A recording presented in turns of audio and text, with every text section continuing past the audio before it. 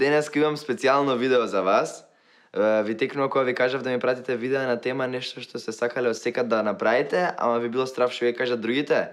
Е па стигна еден тон супер видеа и ги издвоив и ги измонтирав најдобрите. Еден, два, три, ајде!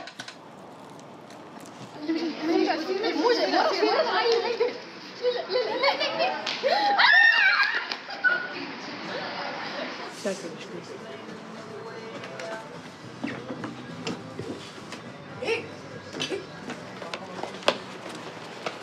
Пази се.